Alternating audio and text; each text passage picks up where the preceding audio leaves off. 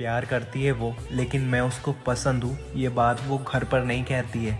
आज उसकी शादी है वो घर वालों की खुशी के लिए, मेहंदी लगा के बैठी है।